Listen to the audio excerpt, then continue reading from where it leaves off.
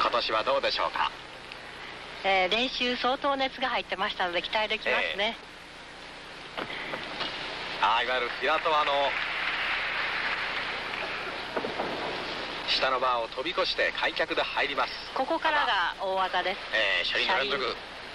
デルチェフ中ですね。あああ成功しましたね。離れ技。